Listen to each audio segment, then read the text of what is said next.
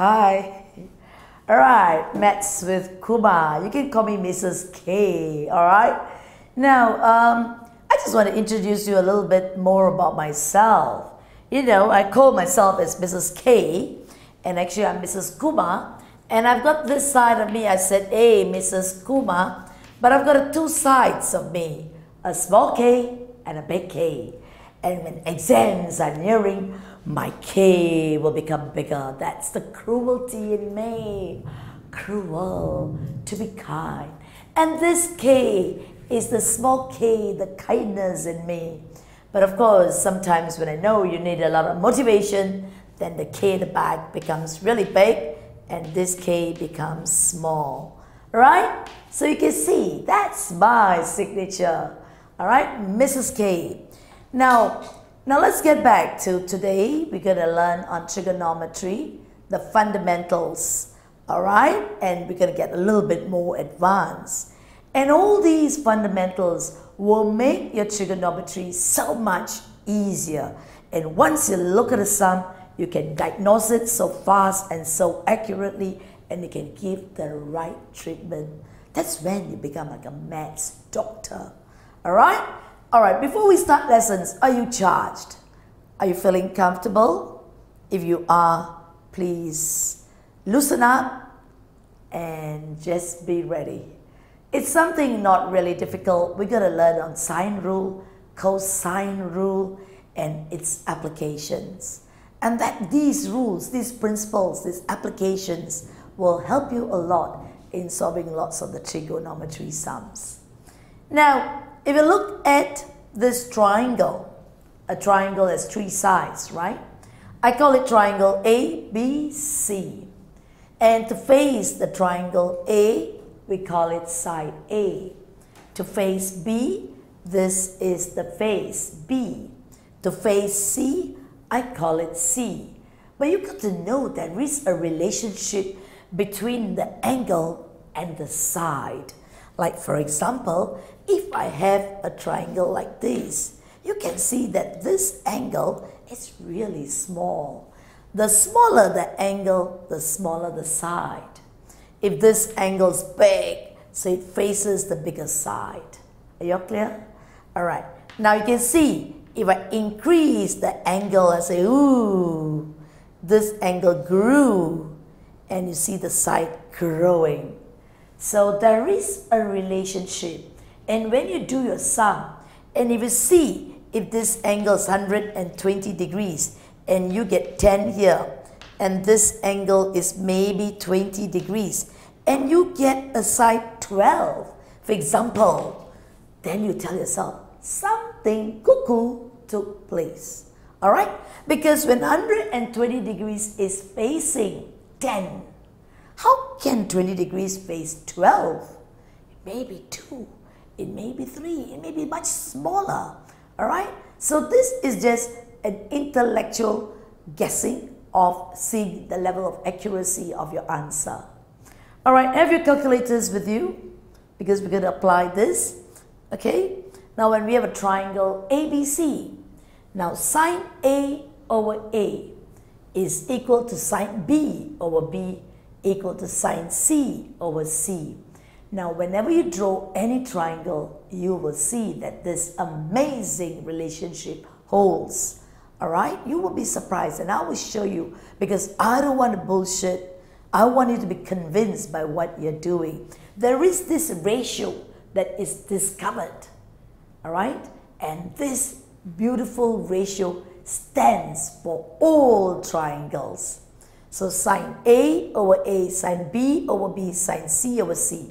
But the very important thing about here is that what side over what angle? Now, if it's the opposite side, B, you don't put it over C, you put B angle B, sine B over B. This side. Sine A over which side? That side. Sine C over which side? Ah, the side you're looking at. Who you look at, I'm looking there. So this is called the angle. Now the other important thing is that when you use sine rule, you must have a given pair. Alright?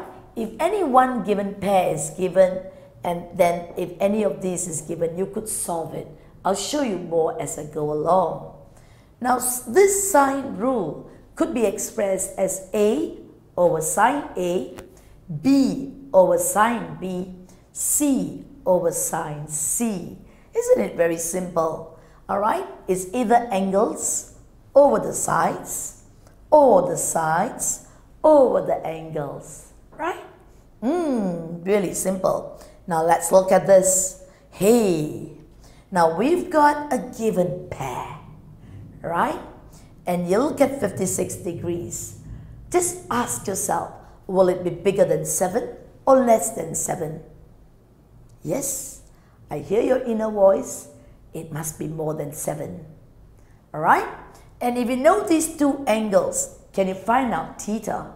This is 106. Angle sum of triangle will tell you that theta is going to be 180 minus 50 minus 56. That's 106. So if you take away, you get uh, 74 degrees. So of course, y is going to be the longest side of this triangle. Now, from there, we're going to apply, we're going to erase this Kumar off, and we're going to apply the formula to solve for x and y. How do you go about that? Let's put in the formula. We've got it. We said a sine 50 over 7, alright, is equal to sine 56 over x. Now the amazing rule here is that we know we can cross multiply. And so you can bring your x up, you get an x sine 50 and you can bring your 7 up, you get a 7 sine 56. Now all you need is x, hey, and this is an attachment times. Bring it over and you would get that lovely answer. Right? So can we try it please on your calculator? Hmm, 7 times sine 56 degrees. Answer. And you divide it by sine 50 degrees. Alright? And you get, what you get is you get 7.5756. Now in your school, they may want your accuracy to three significant figures or maybe two decimal place or the nearest angle or whatever they might they will specify. So just listen to instructions. With me, I shall be happy if I have to two uh, decimal place. So we get 7 point, x will be 7.58 cm. So did I tell you? Ah, it's going to be bigger than 7, right? Because this angle is smaller than 56 degrees. Now we got to find out what is y. Can you guess, my dear? So we found theta to be 74 degrees. It's going to be bigger, right? Because it's the biggest angle of the triangle. Now we're going to say A. But I told you that there are two ways of using this formula. I used this earlier on Alright, I used angle over the side. Now I'm going to try this way. y over sine, y over sine 74 degrees. And if I put side over the angle, this should be side over the angle. Please take note. And let me take what's given here. It is 7 over sine 50. Alright, so you see it. We just, all we need to do is bring your sine 74 here and you've got your y, 7 sine 74 over sine 50 degrees. Can you please help me there? Yep, be a kind soul, get me the answer and let's see what you get. Sine 74, all right, answer divided by sine 50. All right, you will get this answer, you get 8.78. Ooh, so your y is 8.78 cm. So that this is the biggest side of the triangle. Now I'm sure sometimes when you do it, you can feel that internally, yes, I'm right, because it's a bigger sign and it, it justifies it. Okay? Now, but you want to find out, is sine rule only used for triangles that are, for all triangles? Is it for isosceles? Is it for equilateral? Is it for a scalene? Or any triangle? Alright, I would like to assure you Yes, it's used for any triangle. It need not be a right angle triangle. It can be used for any triangle. Let's do a little test. We take this. Are you game for a test, my dear? Alright? I know you young boy, young girl. You are just curious. How truthful is this formula? Alright? You just learned the sine rule and I want you to know it's right. So let's do a little test. You're given this information, 3, 4, 5. It's a right angle triangle. We have 53 degrees, this 36.9, this 53.1, all right, this 90 degrees.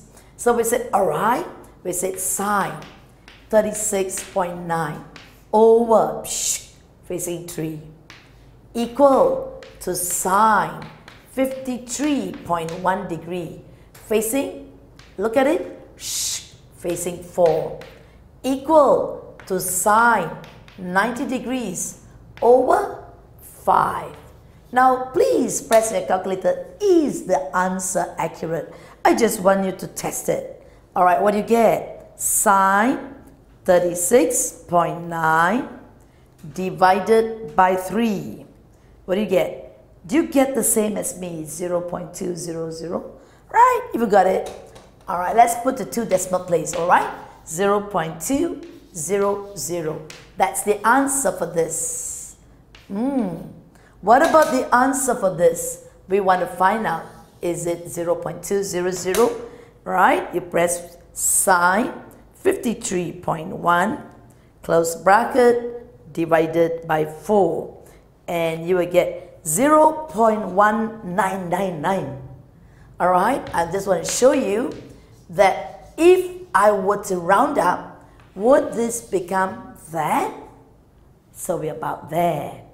All right, and I can just say rounding up, this will become 0.200. Now look at the sine 90 divided sine 90 divided by 5. All right, you know sine 90 it is actually 1, but I'm just want to make sure you know it. And you divide by 5, you get a 0 0.2. All right? And 0 0.200. So you say, hey, you are 0 0.2. They are all there. So you can be very convinced from this example. Sine rule that is there to stay. I can even tweak it. Let's put sine over angle. Okay? Or I can say 5 over sine 90. Alright? I can say sine 53.1 over 53.1 over 4. And I can say sine, sorry, sorry, I was just a bit off. It's supposed to be this aside over the angle, right? I said 5 over sine 90, 3 over sine 36.9. Okay, you get 36.9. And I can say 4 over sine 53.1. Can you just please help me work it out? Do you get 5 for each one of them? Just test it and experiment. 5 divided by sine 90. Yeah, you get a 5. Do you see it? Alright, you put 3 divided by sine 36.9. 36.9. Do you get 5? I get 4.996. 4.996 is about 5, right? And when you get 4 divided by sine 53.1, ah, I get 5.001. It's all there. You know why the answer is not 100% accurate? Because we these angles were also rounded. So that's why you don't get it at 100% of accuracy.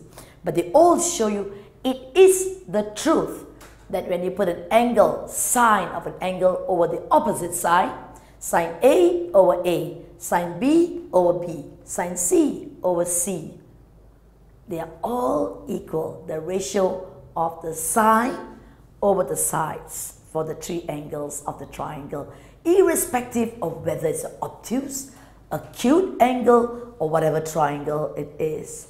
Got your sine rule? Yay! Great.